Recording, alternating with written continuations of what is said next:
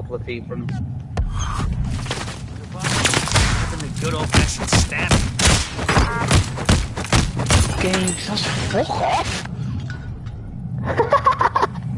I killed the guy and he was like, fuck off. Yeah, it's the guys that just